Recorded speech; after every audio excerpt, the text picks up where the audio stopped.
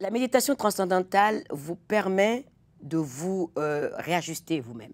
Et c'est pour ça que moi je le fais, parce que je, vis une vie où je voyage tout le temps, je suis d'un bout à l'autre du monde. Euh, mon, but de, mon, but, de faire la méditation, c'est pouvoir trouver cet équilibre dans mon, dans mon planning qui est très très chargé. Et c'est pareil pour les femmes en Afrique, au marché, à la maison, de pouvoir trouver cet équilibre qui leur permettra d'être plus efficace, d'être moins, de tomber moins malade et de pouvoir s'occuper de leurs enfants mieux, de leur mari mieux et de leur société mieux.